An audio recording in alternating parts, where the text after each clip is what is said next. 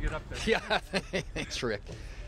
Well, good afternoon. Uh, we are all here today to express our support for uh, the good work done by the House of Representatives and to indicate that um, there isn't going to be a debt limit increase absent the President sitting down and negotiating spending reforms with Speaker McCarthy and his team. Uh, I pointed out uh, since this has all started that in seven of the last 10 debt limit debates, there have been policy, budgetary, spending reforms attached uh, to that debt limit increase.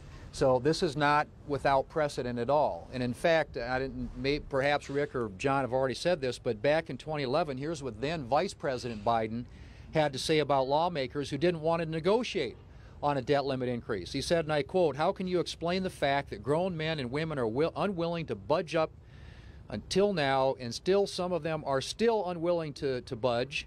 By taking an absolute position, my way or no way, that's not governing, that's no way to govern. You can't govern that way, end quote. That's from then Vice President Biden. Well, in 2017, Senator Schumer publicly stated that he was leveraging the debt limit for policy changes. Ladies and gentlemen, we have to do something about the debt. It is $31 trillion and counting. If you look at just the interest alone, in 2010, it was a little under $200 billion that we paid out in interest on the debt. In 2022, it was $475 billion. That's a 142% increase just to finance the debt that we have today. 65% of the American people, including 58% of Democrats, are saying that any increase in the debt limit ought to be accompanied by spending changes, spending reforms, and policies that would help drive down the debt. Uh, we are on the, the right side of this debate. The President of the United States, for 90 days now, has been missing in action. He has been AWOL.